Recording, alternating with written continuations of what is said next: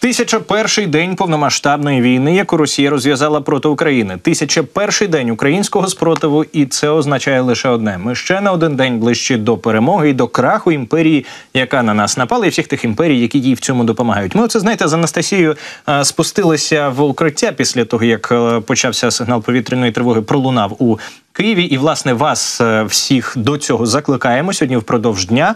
Водночас е, завжди реагувати на повітряні тривоги, не лише завжди. сьогодні. Е, Правильно, Анастасія мене виправила, тому що я якраз сьогодні хотів продовжити про сьогоднішній день. Сьогодні всі якісь такі, ну на такому, вибачте, стрьомі. І це мені чесно подобається, бо я знаю, що нас багато людей подивляться. Це класні рейтинги на телебаченні. Всі телеграм-канали зараз хайпують, всі тільки й говорять, що про якусь ракетну атаку з боку Путіна. Ну але. Ще раз, в мене запитання одне і риторичне. А що це перша ракетна атака, наприклад, за останній день? Чи, наприклад, за останній тиждень, в тому числі, наприклад, на Київ, якщо вона буде взагалі, ми не знаємо, буде вона чи не буде. От американці почали зі своїм посольством і вже понеслося, як під, під перед повномасштабним вторгненням. Е, Воно ж може затягнутися на боз наскільки. Тому, дорогі друзі, е, давайте власне в такому, мені здається, доволі виваженому і спокійному тоні продовжувати розмову, тому що насправді, насправді, головне управління розвідки дещо вам усім передає, і оце вже терміново і офіційно. Анастасія розкаже докладно. Отже, у головному управлінні розвідки попереджають і заявляють про те, що Російська Федерація проводить нині масовану інформаційно-психологічну атаку, поки ще не ракетну, а от саме психологічно інформаційно повідомляється про те, що месенджерами, начебто, почало надходити повідомлення від імені ГУР. Розповсюджується повідомлення про загрозу особливо масованого ракетно-бомбового удару по українським містах. Але у ГУР кажуть, що дане повідомлення це фейк. Воно містить типове для російських інформаційно-психологічних операцій граматичні помилки. Ну, до речі, я думаю, що вони і справді перекладачем інколи користуються. Ви, як знаєте, там часто з російської на українську або з української на російську немає сечі терпіти, нет мочі терпіть, немає сечі терпіти. Так це згідно з їхніми перекладачами перекладається. Хоча треба відзначити, останнім часом їхній переклад став набагато більш ну органічним. Хоча, якщо великий текст, ну все одно рано чи пізно, якщо ти е, спілкуєшся українською, знаєш українську, то в принципі ти зрозумієш в якийсь момент, що щось там не так, якісь не такі звороти. Ну і також у ГУР додають, що якщо і справді буде загроза, то вони обов'язково усіх попередять. Але друзі, ми вас попереджаємо. І закликаємо завжди реагувати на повітряні тривоги не лише сьогодні, тому що дуже часто часто росіяни як роблять спочатку нас ось так а, трішки збентежать, понагнітають, щоб ми і справді зараз спускалися всі в укриття по декілька Ні, разів ну, на день. Ми в будь-якому разі та варто я маю на увазі, що от особливо сьогодні. Ну я впевнена, що частина людей, які там до цього раніше не спускалися, не спускалися в укриття, сьогодні будуть спускатися. Будуть так. Але я до чого це кажу? Вони навмисно будуть це зараз робити, щоб ми були на такому, як сказав Арсен, стрьомі. Це психологічно впливає, але. Найважливіше те, що вони можуть цю ракетну атаку здійснити не сьогодні, а наприклад, завтра, післязавтра, Я через тиждень. що не раніше ніж через кілька днів, уже після того як всі втомляться, коли всі розслабляться ходити в укриття. Так. Ось тоді вони можливо щось і здійснять, і все одно це не буде схоже на апокаліпсис, як сьогодні нам малюють. Ну чи то пак ми самі собі малюємо. Це буде традиційна їхня а, кривава атака, не більш і не менш кривава ніж зазвичай, і вони зможуть сказати: так, а ми ж і не обіцяли ніяку мега апокаліптично криваву атаку. Це ви українці самі собі намалювали, і так воно і буде. Вони дійсно офіційно про це все не говорять. Навіть Піскова запитали. Він сказав: ми цього коментувати не будемо. Словом, а, сьогоднішній день нічим, я підкреслюю, нічим не відрізняється від вчорашнього, позавчорашнього, позапозавчорашнього і будь-якого іншого дня а, з поміж тисячі одного а, дня, ну принаймні повномасштабної війни. І власне а, ну не відрізняється. Відрізняється він хіба що тим, що росіян отак от взяли і мордякою розмазали в їхні ж ну в те, що вже вийшло з їхнього організму, з тіла їхньої імперії. Власне, їх взяв дідусь Байден і розмазав своїм рішенням по атакамсами. Вони всі в паніці. От ми впродовж цієї години, ефірної години, е, докладно вам розповімо, що відбувається зараз на болотах, і навіщо зараз росіянам так важливо, щоб українці ходили і боялися, і чогось чекали, бо вони там реально ходять, бояться і чекають. З цього моменту розкажемо докладно.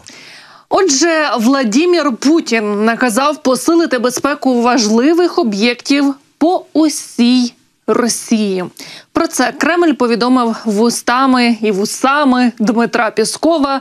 Ну він, який, як ви знаєте, пілька Путіна. Отже, такі заголовки заполонили передові сторінки всіх російських видань. і Ми зараз вам їх покажемо, тому що там і справді знаєте, паніка у них. Вони зараз намагаються її а, перенести до нас. Але як бачите, в них пишуть про те, що приймаються всі міри, щоб, а, щоб забезпечити безпеку. Там у Росії тільки й розмови про захист і безпеку стратегічних об'єктів, включно із незаконно збудованим Кримським мостом, у зв'язку із новими атаками на Росію та скасування заборони на удари вглиб території РФ. Однак в системі російських змі, в системі путінських змі, як відомо, журналістів немає. Там є лише пропагандисти. Вони чи то в патріотичному гарі, чи то в стані а, смути та паніки через атакамси. Вони геть неправильно насправді розчули слова Піскова, які цитують. А ми правильно прочитали і правильно розчули. Давайте поглянемо і послухаємо, що насправді сказав Пісков, через що вони там так вз'єріпінілись. Пісков якраз намагався всіх у Росії заспокоїти і показати Путіна, коли покажіть, будь ласка, цю цитату, показати Путіна вожаком, який все давно просчитав, а СВО такою, яка йде в строгому соответствии з планом і графіком. Пісков сказав: цитую: Верховним главнокомандуючим давно дані поручення, давно дані поручення і ухвалюються е, всі необхідні заходи для забезпечення безпеки всіх об'єктів критичної інфраструктури, в тому числі і мосту, давно дані. Але російські пропагандисти, вони може і лицеміри, вони може і воєнні злочинці, так воно і є, але. Чимало з них точно не є дурнями. Вони розуміють, про що зараз думають абсолютно всі росіяни, тому що їм стільки розповідали вони ж самі, що ракети з боку США це ескалація, ракети НАТО, це війна з усім НАТО. Що це вже тепер буде вже зовсім інша війна що росіянам схоже реально дуже страшно. Їм всім дуже цікаво, куди ж долетять ці страшні західні ракети, про які розповідали пропагандисти вже. Ну, як мінімум, з початку повномасштабного вторгнення, але насправді про війська НАТО і ракети НАТО говорять там вже 10 років мінімум. 30. Пропагандисти роздивлялися навіть мапи в своїх прямих ефірах і геть не приховували своїх емоцій, бо і справді вони трішки, знаєте, встрівожились. Подивимось. Давайте почнемо з мапи. Поставимо мапу там, куди можуть долетіти ракети великої дальності. Ось так це виглядає. Виглядає це жахливо. Дійсно. СВО таки йде не по плану. Це вже, е, до речі, двічі за останню добу публічно визнав речник Кремля Дмитро Пісков. Давайте послухаємо уважно, що він сказав пропагандистам сьогодні вранці. Як верховний головнокомандувач, ми говорили про це багато разів. Він багато годин на день щодня присвячує, звичайно ж, темі проведення СВО, отримує доповіді, проводить наради, розмови. Це є невід'ємною частиною робочого графіка президента. Щодо інших заходів, то вони всі йдуть за планом. І ще раз СВО он посвящает много времени, а всі остальные мероприятия йдуть по плану. До речі, в такий спосіб Пісков відповів на запитання на запитання як вплинули удари далекобійними ракетами Брянської області е, по Брянській області на графік президента? Тобто, це реально те, що найбільше цікавить російських так званих журналістів. Я маю на увазі не графік президента, а як би не хотілося Кремлю, а саме ракетні удари по Брянській області. Ну і до речі, якщо знову ж таки повертатися до цього запитання, як вплинуло на графік президента, а що вони хотіли почути? Що президент срочно виїхав в Брянську область і на ліквідацію цих всіх е, атак і на детонацію подивитися, як його склади підіймаються в небо. Ну звісно, що Путін е, та він навіть. І Пісков, я впевнена, також знаєте, буде максимально якось ігнорувати всі ці повідомлення про атаки на Російську Федерацію, при тому, що вони вже вчора так сказали, як і Лавров, що ну, в принципі, да, атакамся были, но ми не уверены, що їм дали розрішення їх использовать. Ну, це, мабуть, збіг обставин, просто так стався. Крім того, напередодні в Піскова ну, прямо запитали тепер уже індійські журналісти: а все ли у вас іде по плану? І ви знаєте, що він відповів? Він відповів, що коли все це розпочалося, то це розпочиналося проти київського режима. А зараз це вже триває як війна між Росією та НАТО. Ось тому це зайняло трохи більше часу, ніж три дні, і триватиме ще трохи. Це ж треба так брехати братському індійському народу. Зайняло немного времени і продлится еще... Э, а, заняло больше, немного больше времени і продлится ще немного. Все на всього немного більше що за політична шизофренія? Ну і крім того, Пісков знову відреагував на так звані мирні пропозиції президента Туреччини Ердогана і заявив, що варіант заморозки конфлікту нам, ну тобто їм, не підійде. Президент неодноразово, а точніше постійно заявляє про те, що він готовий до контактів і переговорів.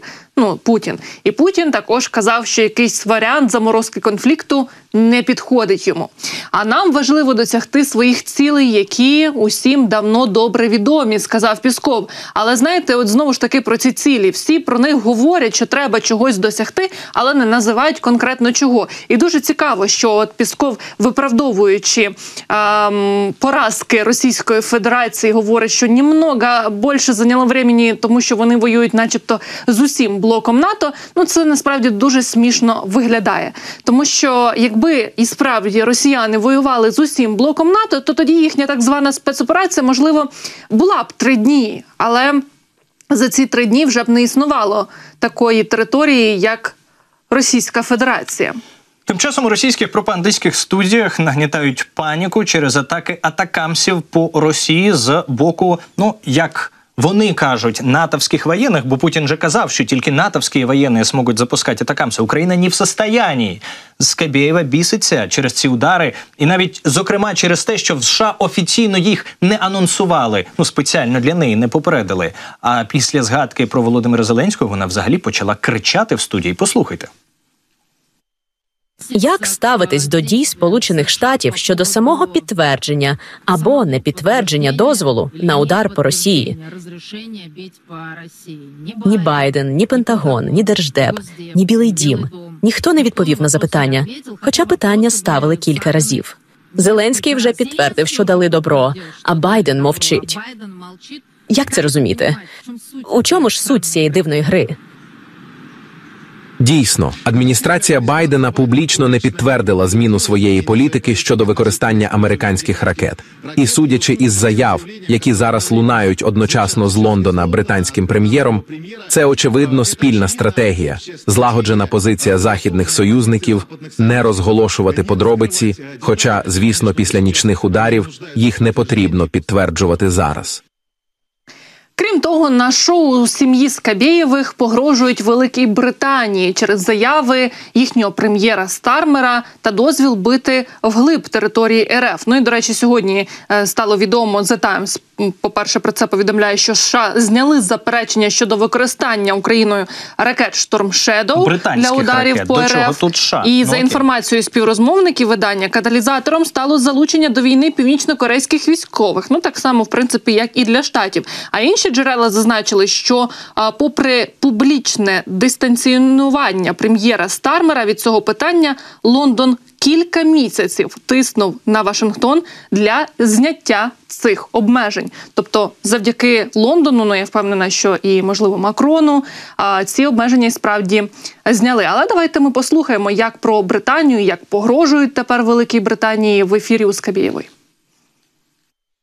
А якщо в Манчестері завтра будуть кинджали вибухати або в Бермінгемі, то що ти скажеш? А для чого тобі ядерна зброя Англія? Напевно, захищати власну територію, і Брянськ такою є природньо, як і інші території. Англия. Наверное, защищать собственную территорию. Знаєте, те, що зараз сталося з Байденом, змушує мене думати не про те, що Трамп перед виборами сказав, що Байден занурить нас у цю ядерну війну, адже це було ще до виборів.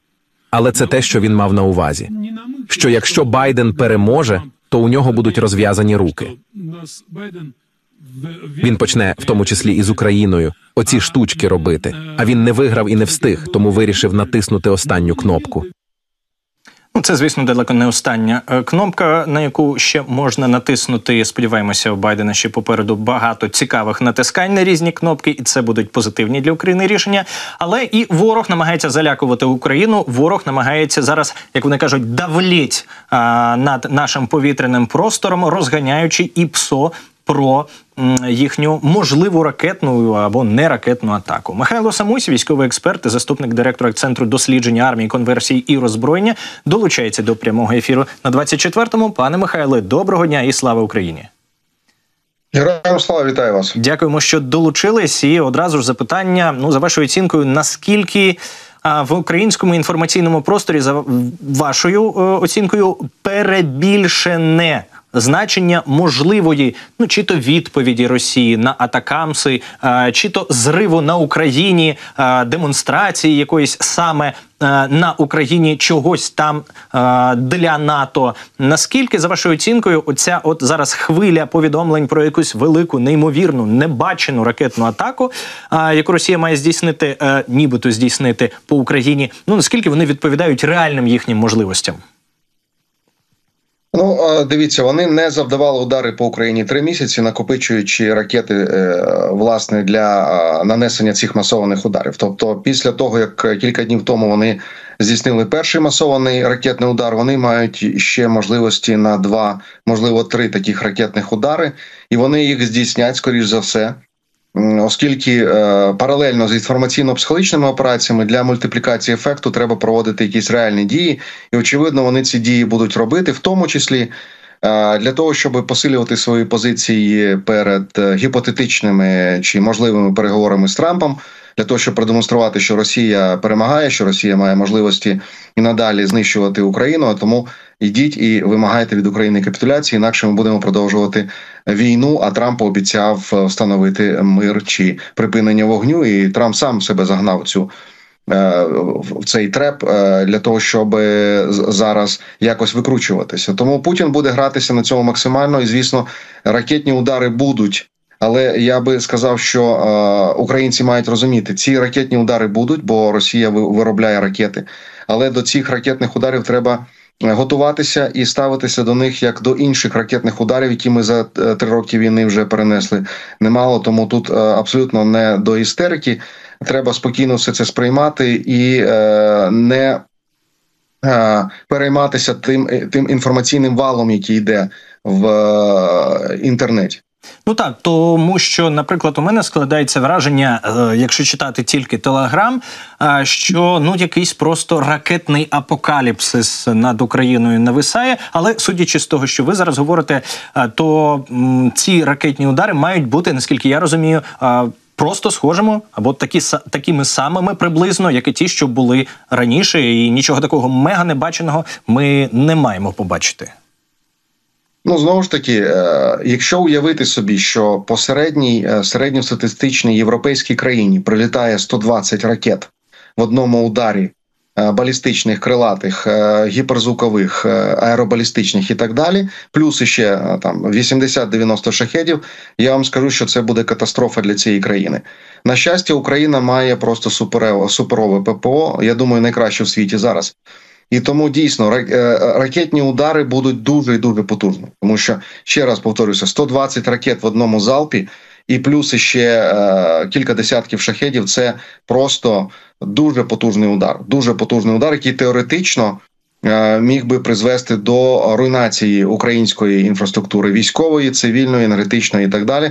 Але росіянам це не вдалося і в лютому 22-го року, і зараз не вдасться, тому що у нас е, ППО ну просто змінилося кардинально. Ми знаємо це і. Насправді е, все залежить від ефективності протиповітряної оборони. Все залежить від того, наскільки ми будемо організовано на це реагувати. Тобто можливості у Росії є, але і у нас є свої можливості стосовно захисту, і у нас є зараз підвищені можливості стосовно нападу і ці, і ці можливості будуть наростати. Тому е, ще раз повторюся, треба розділяти інформаційно-психологічний Мгм. компонент і компонент реальний. Пане Михайле, до речі, сьогодні у телеграм-каналах масово писали, і на жаль, і деякі народні депутати також до цього підключилися, що Росія може спробувати вдарити по Україні експериментальною балістичною ракетою РС 26 Рубіж. А, от що це за така ракета? Чи і справді вони можуть її використати проти України? Ну і якщо так, то чи впорається ППО? Сказати складно. Е, Справа в тому, що дуже мало інформації про цю ракету. Є е, такі припущення, що це є копією радянської ракети е, Піонер РС-10 Піонер, яка є е, була ракетою середньої дальності на 6 тисяч кілометрів. Ну середньої дальності по міркам холодної війни. Тобто, це балістична ракета середньої дальності з боєголовкою близько півтори тони для.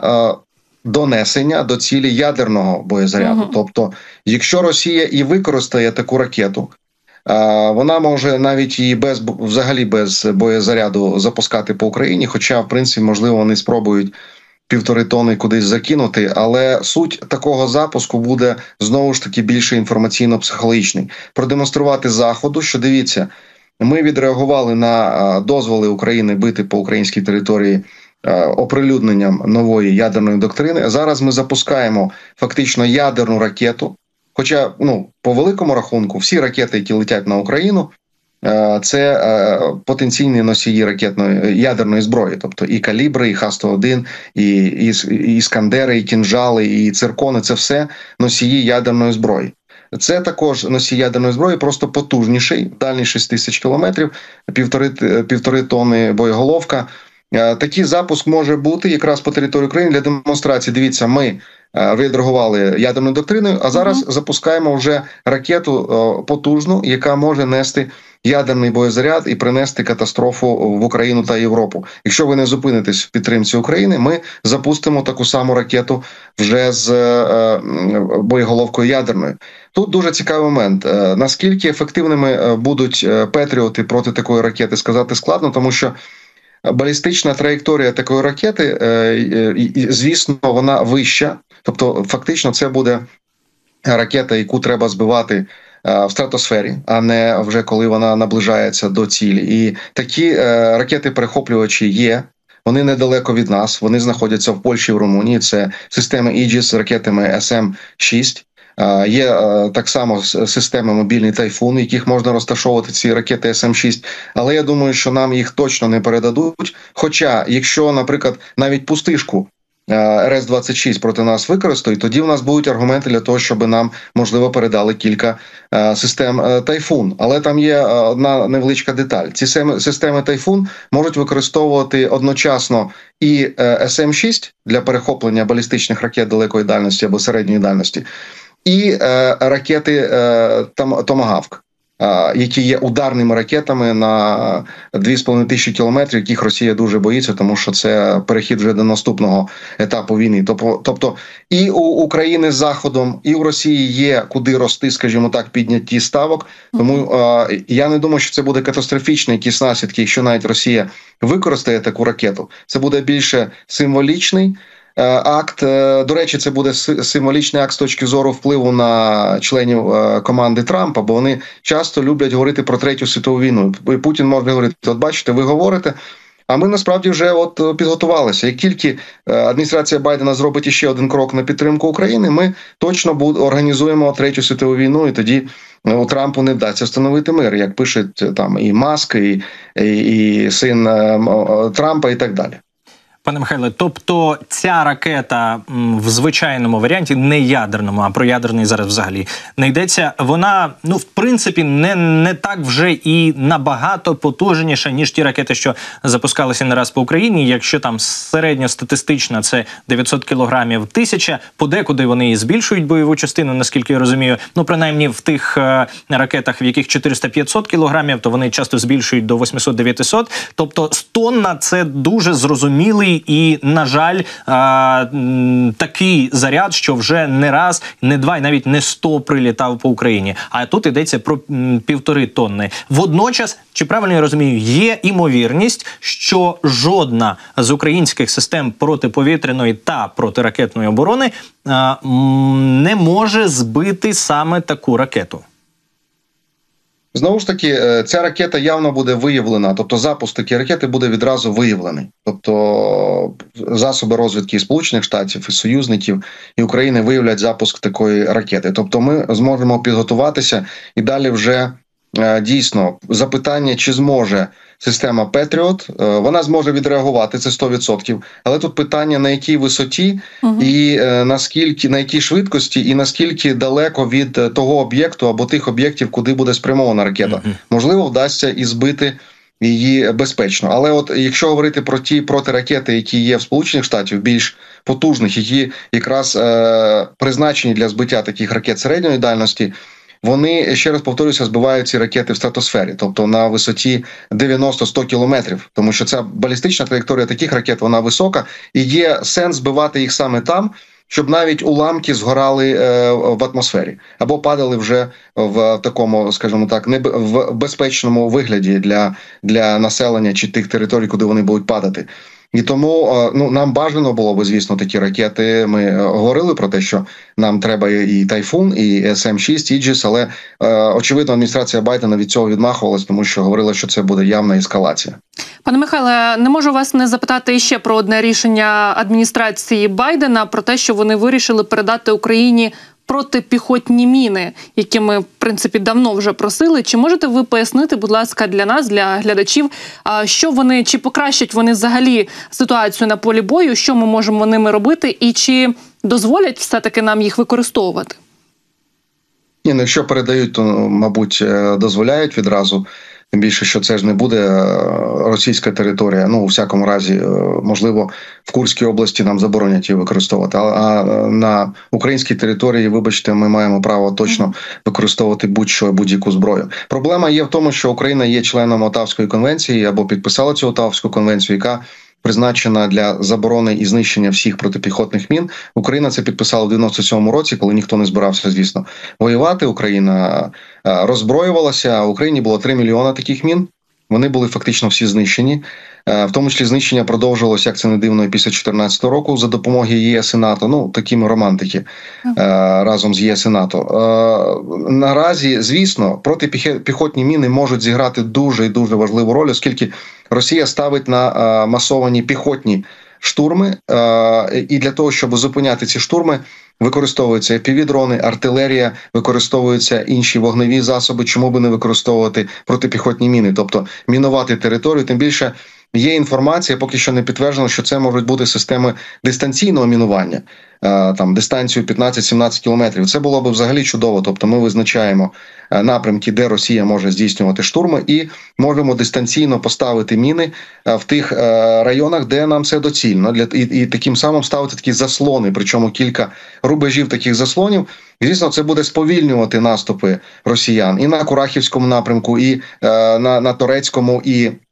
На Вовчанському і так далі, тобто, це реально допоможе українським силам зараз побороти головний козир росіян. Це дуже дуже багато піхоти. Вони навіть зараз не часто механізовані механізований компонент використовують і протипіхотні міни тут дуже важливі. Безумовно, чудова звістка. Одна з багатьох на сьогоднішній день. Пане Михайле, дякуємо, що долучились сьогодні до нашого ефіру. Дякую, дякую за запрошення. І нагадаємо, що Михайло Самусь, військовий експерт, заступник директора центру дослідження армії, конверсії та роззброєння, був з нами на зв'язку. А ми закінчуємо цю ефірну годину нагадуванням про те, що варто закінчити вже сьогодні. А саме збір на Мерседес Спринтер для спецпідрозділу Шамана Гур. Я не знаю, чому він іде так повільно. Я не знаю, може когось лякає Мерседес Спринтер. Е, бусік, Бус. е, ще щось. Але ну як можна не задонатити на гурт, дорогі друзі? QR-код бачите на своїх екранах. е, Посилання на сайт Фан24 зараз теж з'явиться червоним кольором. Ну і звісно, нас можна знайти дуже просто в гуглі, написавши фонд 24 перше посилання, і ви там 20-30 секунд. Особисто я використовую для того, що мені достатньо для того, щоб власне задонатити. І я цією можливістю скористаюся просто зараз разом із І вами. ми закликаємо вас, звісно, долучитися до збору. а Також поділіться посиланнями на банку зі своїми друзями та знайомими. Бо якщо ви не маєте можливості фінансово е, задонатити, то звісно. Можливо, хтось, я впевнена, що є серед вашого оточення ті, хто хоча б 5, 10, 20 гривень, 50 точно скинуть на цей збір. Давайте допоможемо нашим гурівцям, нашим спецпризначенцям. Вони виконують неймовірні завдання на полі бою. А є такі завдання, про які не можна розповідати навіть в ефірах, і вони нам про них не розповідають, тому що поки війна триває, це все засекречено. Потім ми просто будемо. Ми і зараз пишаємося нашими воїнами і всім, хто нині боронить нашу державу. Але от після того, коли ще й стануть якісь відомі деталі, я впевнена, що всі захочуть долучитися, знаєте, до спецпідрозділу а, ГУР і можливо навіть також брати участь у е, несенні цієї служби. принаймні хайпувати на обговореннях всі точно захочуть і між собою навіть розповідати про якісь героїчні вчинки, пишатися. Так. Ми точно будемо. Але треба, по-перше, щоб е, знаєте. Коли е, з'являється героїзм, значить уже щось не так. Потрібно роби, е, зробити все для того, щоб наші спецпризначенці, як і в принципі всі складові сил оборони, просто виконували свою роботу без надмірного героїзму, без е, надмірної крові. Давайте називати речі своїми іменами. Що більше заліза, то менше крові з нашого боку, і відповідно більше з того. Саме тому, дорогі друзі, давайте зробимо так, щоб е, приводів для е, того, щоб пишатися, і для того, щоб обговорювати якусь бавовну чи м, якесь велике масове знищення ворога, щоб таких приводів було більше. Будь ласка, долучайтесь до цього збору. Дякуємо. Дивіться 24-й. Бережіть себе, бережіть Україну. Слава Україні! Героям слава!